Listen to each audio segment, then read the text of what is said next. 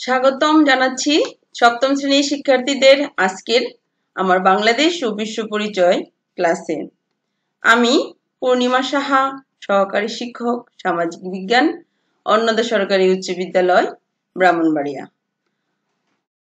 শিক্ষার্থীরা, আশা করি তোমরা আমার সাথে আছো।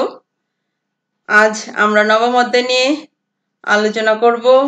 নবম অধ্যায়ে দুইটি বিষয়ে আলোকপাত করা আছে। তোমাদের বইয়ে আমরা একটি বিষয়কে কেন্দ্র করে আমাদের আলোচনা এগিয়ে নিয়ে যাব। চলো, এই জন্য আমরা কিছু ছবি দেখি। ছবিতে তোমরা যদি খেয়াল করো, তাহলে নিশ্চয়ই বুঝতে পারছ ছবিতে কি দেখানো হচ্ছে। তারপরও বিষয়টি আমরা স্পষ্ট করার জন্য আমরা একটি ভিডিও দেখতে পারি। চলো, আমরা ভিডিওটি দেখি। লন্ডনে মহাব্যস্ত চিকিৎসক ছেলে। রাফসানারা, বয়স তেষট্টি, বাংলাদেশ পর্যটন কর্পোরেশনের সাবেক নির্বাহী কর্মকর্তা। ছাব্বিশ বছরের চাকরি জীবন শেষে দুই হাজার সাত সালে অবসরে যান। জীবনের শেষ দিনগুলি কাটাতে দুই বছর ধরে আছেন রাজধানীর আগারগাঁওয়ের প্রবীণ হিতৈষী সংঘ। ধন্যবাদ, শিক্ষার্থীরা, তোমরা ভিডিওটি মনোযোগ দিয়ে দেখেছ। তাহলে নিশ্চয়ই তোমরা বুঝতে পেরেছ আজকে আমাদের পাঠ। আজ আমাদের পাঠ বাংলাদেশে প্রবীণ ব্যক্তি।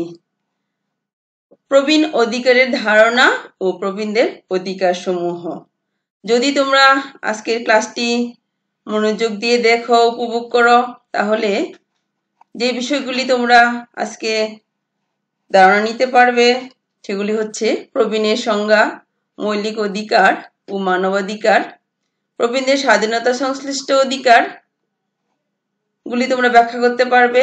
বিভিন্ন কাজে প্রবীণদের অংশগ্রহণের গুরুত্ব বুঝিয়ে বলতে পারে। চলো আমরা মূল পাঠে চলে যাই। তা যাওয়ার আগে আমরা এখানে আরটি ছবি দেখাচ্ছি তোমাদেরকে। সেই ছবিতে আমরা দেখতে পাচ্ছি শুরুতে একটি শিশু আস্তে আস্তে জীবনের একটি পর্যায়ে চলে এসেছে। তিনি হচ্ছেন বৃদ্ধ। যিনি বৃদ্ধ, তিনিই প্রবীণ। এই বিষয়টিকে আমরা তিনটি প্রেক্ষিতে আলোচনা করতে পারি। বাংলাদেশ, জাতিসংঘ, উন্নত বিশ্ব। এবার আমরা আসি বাংলাদেশ প্রেক্ষাপটে। বাংলাদেশের ক্ষেত্রে দেখা যায় ষাটোর্ধ বয়সের মানুষকে প্রবীণ বলে গণ্য করা হয়। তবে অন্যান্য ক্ষেত্রে সেই বয়সটা একটু ব্যতিক্রম হতে পারে। যেমন বাংলাদেশের সরকারি চাকরি থেকে অবসরের বয়স উনষাট বছর। বিশ্ববিদ্যালয়ের শিক্ষক কোনো কোনো পেশাজীবীদের জন্য বয়সের এই সীমা পঁয়ষট্টি বছর। আর বিচার ক্ষেত্রে প্রবীণদের অভিজ্ঞতাকে কাজে লাগানোর জন্য এই বয়সটা আরেকটু বাড়ানো আছে। যেমন, বিচারপতিদের জন্য বয়স সীমা সাতষট্টি বছর। এবার আমরা আসি উন্নত বিশ্বের দিকে। বিশ্বের উন্নত দেশগুলোতে ষাট বা পঁয়ষট্টি বছর বয়সের পর একজন মানুষকে প্রবীণ বা সিনিয়র সিনিয়র সিটিজেন হিসেবে গণ্য করা হয়? যেহেতু তাদের দেশ উন্নত, তারা প্রবীণদেরকে বিভিন্ন সুযোগ সুবিধা দেওয়ার চেষ্টা করে। এবং দেয় আর জাতিসংঘ জাতিসংঘ তো সকল বয়সের মানুষদের নিয়ে কাজ করে। তারা প্রবীণদের নিয়েও কাজ করছে। প্রবীণ জনগোষ্ঠীর অধিকার রক্ষায় প্রতিপয় নীতিমালা প্রণয়ন করেছে জাতিসংঘ। জাতিসংঘ প্রবীণদের অধিকার ও তাদের কর্তব্য সম্পর্কে সচেতনতা সৃষ্টি করতে এক অক্টোবর বিশ্ব প্রবীণ দিবস পালিত হয়। শিক্ষার্থীরা, তোমরা আবার একটু মনোযোগ দিয়ে দেখো। আমরা প্রবীণ বিষয়টিকে তিনটি প্রেক্ষাপটে বিশ্লেষণ করেছি। এক, বাংলাদেশ, উন্নত বিশ্ব এবং জাতিসংঘ। তাহলে আমরা পরবর্তী অংশে আসি। অধিকার। অধিকারের বিষয়টি আমরা মানবাধিকার ও মৌলিক অধিকারের ভিত্তিতে আলোচনা করব। চলো আমরা মানবাধিকার কি সেই বিষয়টা একটু খেয়াল করি।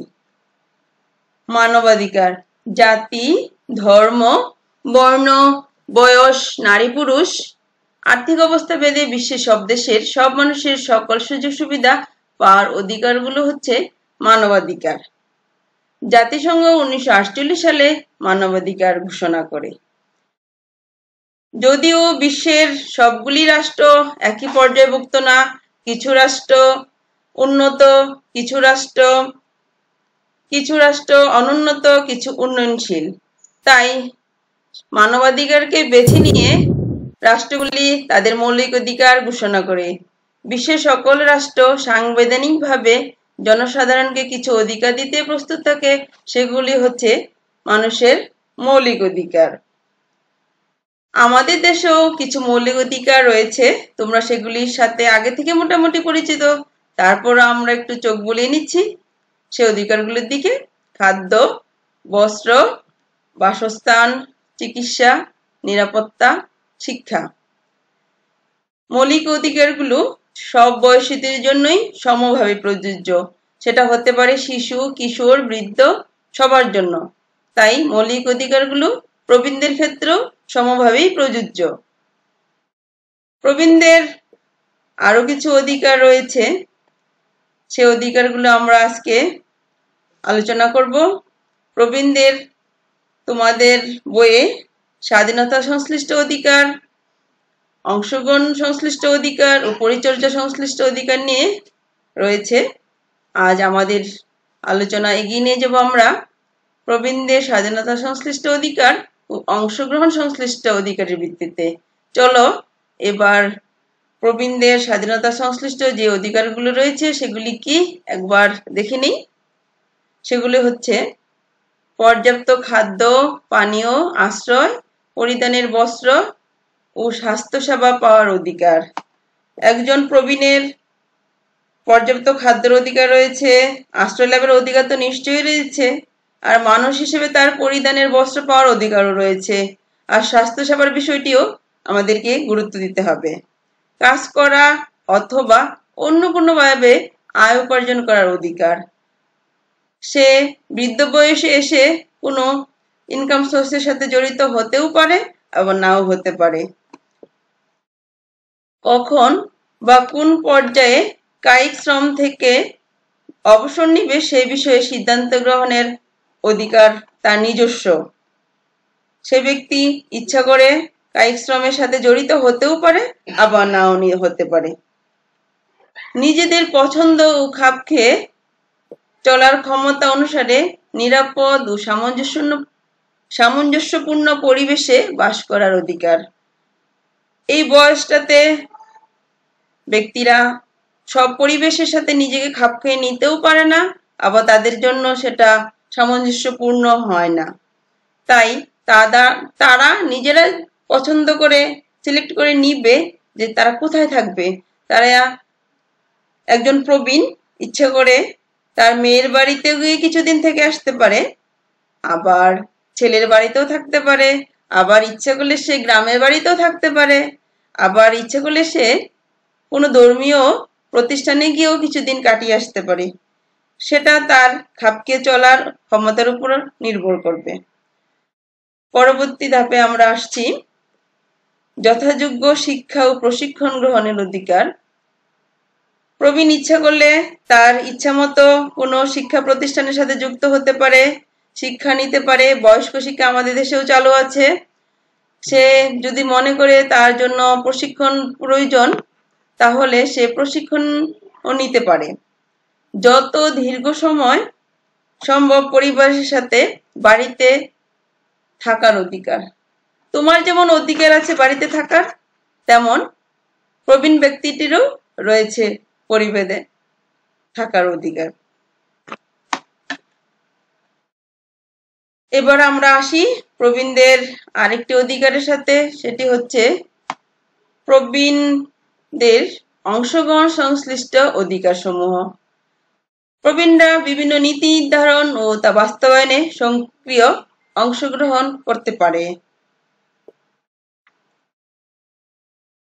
স্বাস্থ্য ও সাধ্য অনুযায়ী সমাজ ও উন্নয়নমূলক কাজেও তার অংশগ্রহণের অধিকার রয়েছে।